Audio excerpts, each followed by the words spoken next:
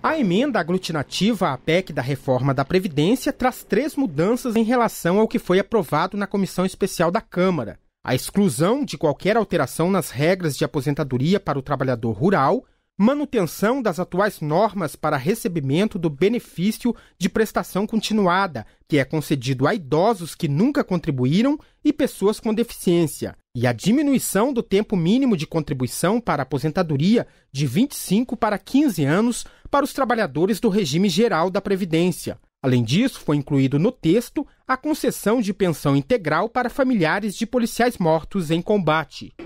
Por que essa diferença? Serviço público, 25 anos de tempo mínimo de contribuição, é, iniciativa privada, 15 anos de tempo mínimo de contribuição. Por que essa diferença? Porque o servidor público ele tem estabilidade do emprego. E as estatísticas mostram que, em regra, quem está no serviço público contribui por mais tempo do que aquele que na iniciativa privada fica um período desempregado e aí deixa de contribuir, depois volta a contribuir, depois fica de novo sem contribuir.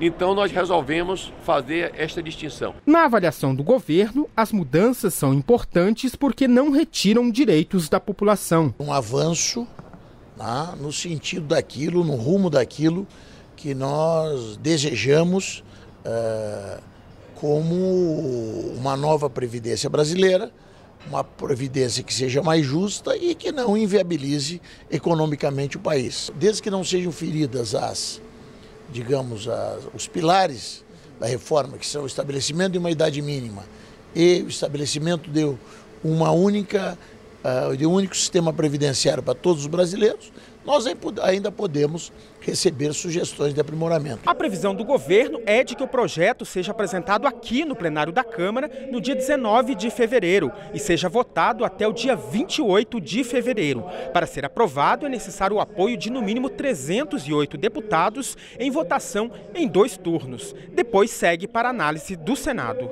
Ou nós fazemos a reforma da Previdência agora, ou ela vai ser feita depois pelo outro presidente da República no, no próximo mandato, porque não tem jeito de ir adiante assim.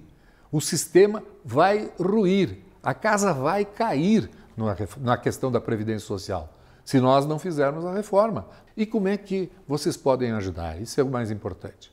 Vocês podem ajudar falando com o seu deputado federal, falando com o seu senador, mostrando a preocupação. Nós temos que garantir a continuidade do nosso sistema. A reforma da Previdência não muda nada para quem já está aposentado ou já pode se aposentar. Também não muda para quem já recebe o benefício por ser deficiente ou trabalhador rural. A reforma combate privilégios. Aliás, para que você possa ter uma ideia, o governo federal no ano passado, para cobrir o rombo da Previdência, gastou 10 vezes o orçamento do Bolsa Família. Mais de 260 bilhões de reais. Por isso, vamos aprovar a reforma da Previdência. É bom para o Brasil e é bom para você.